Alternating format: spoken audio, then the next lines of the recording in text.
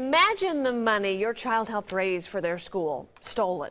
Police are investigating thousands of dollars missing from an Olathe elementary school. Lindsay Shively talked to the person in charge of Westview Elementary's PTO fund and one family who worked hard putting the money there. Lindsay. Now, Krista, families here say everybody works really hard in this neighborhood to make sure the kids at Westview Elementary have what they need. Olathe police say somebody worked really hard to steal $10,000 from Westview's PTO fund, not all at once, over three years' time. It's very, very disheartening. Christy Reed's kids always help raise money for Westview's PTO fund. Now, police say more than $10,000 is missing. It's horrible that somebody would steal from the school and the kids because that's who they're stealing from.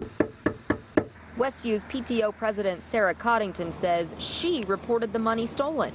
An ongoing investigation, and I do want to say that we really love the school and that I think that we're gonna, you know, we're gonna be okay. But future funds? Now the Reed family isn't so sure. Well, I know we're not going to be doing any fundraisers for a while until they get this taken care of because I'm not going to trust them to take care of my money.